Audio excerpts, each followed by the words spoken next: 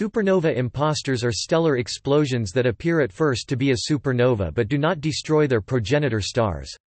As such, they are a class of extra-powerful novae. They are also known as Type 5 supernovae, Eta Carinae analogues, and giant eruptions of luminous blue variables LBV. Topic: Appearance, origin and mass loss.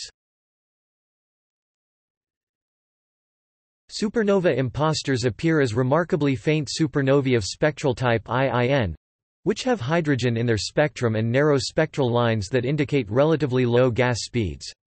These imposters exceed their pre-outburst states by several magnitudes, with typical peak absolute visual magnitudes of -11 to -14, making these outbursts as bright as the most luminous stars. The trigger mechanism of these outbursts remains unexplained, though it is thought to be caused by violating the classical Eddington luminosity limit, initiating severe mass loss.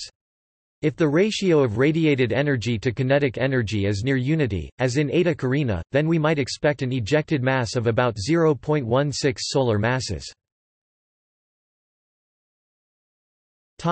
Examples Possible examples of supernova imposters include the Great Eruption of Eta Carinae, P Cygni, SN 1961V SN 1954J, SN 1997BS, SN 2008S in NGC 6946, and SN 2010DN where detections of the surviving progenitor stars are claimed. One supernova imposter that made news after the fact was the one observed on October 20, 2004, in the galaxy UGC 4904 by Japanese amateur astronomer Koichi Adachi. This LBV star exploded just two years later, on October 11, 2006, as supernova SN 2006 JC.